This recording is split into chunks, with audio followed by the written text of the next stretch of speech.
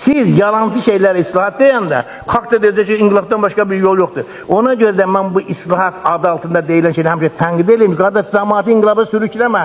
İnqilaba sürükləyən Azərbaycanda islahat var deyən adamlardır, bilirsiniz. Heç bir islahat yoxdur. Sumqayıtda bir dənə hakim işdən çıxardıblar. Deyirlər ki, Azərbaycanda məhkəmə islahatları başa çatdı. Buyurun.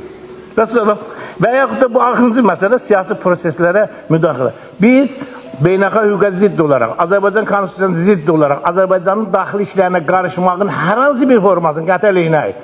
Məsələn, Əli Əhmədov burada oturub. Bu Rusiya Azərbaycan deputatlarına, Azərbaycan Nazirlər Kabinetinin əməkdaşlarına, prezident aparatçilərinə Rusiyanın torpaqlarını qoruduğuna görə orden verəndə nədir səsulu çıxartmısınız ki, olam? Bu Siyavuş Novruzov Rusiyanın hansı torpaqların qorunmasında xidməti orden verirlər?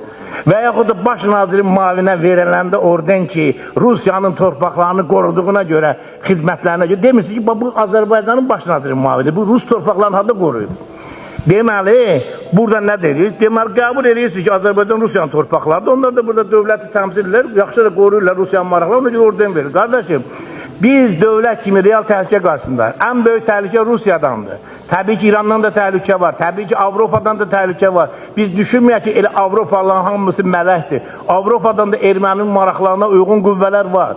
Amma gəlin, istəyiriksə ki, Azərbaycanda normal, Xahiş edirəm. doğrudan da təhlükələrin qarşısını alaq, qarşıdan gələn təhlükələri vaxtında qarşısını alaq, biz bu məsələləri bir-birinə ayırmağı bacarmalıyıq.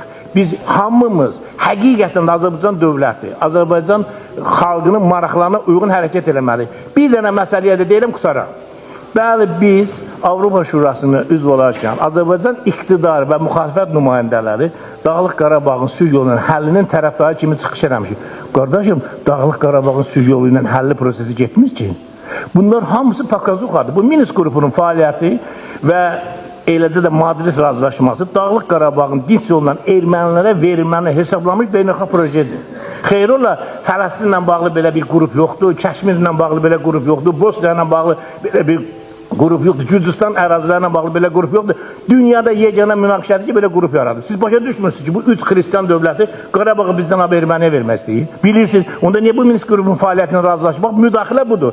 Minsk qrupunun Dağlıq Qarabağla bağlı fəaliyyəti Azərbaycanda gedən siyasi proseslər Azərbaycan dövlətinin açıq şəkildə müdaxilədir və Azərbaycan parçalanması. Çox sağ olun. Çox sağ olun.